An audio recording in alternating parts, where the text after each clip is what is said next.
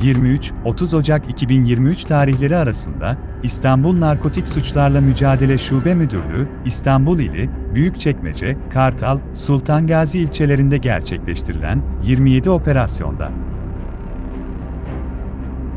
Toplamda 163 kilogram Hint geneviri maddesi, marihuana, 483 bin adet kaptagon hap, 520 adet sentetik ecza ele geçirilerek el konulmuş, 62 şüpheli şahıs yakalanmış, 46 şahıs tutuklanmıştır.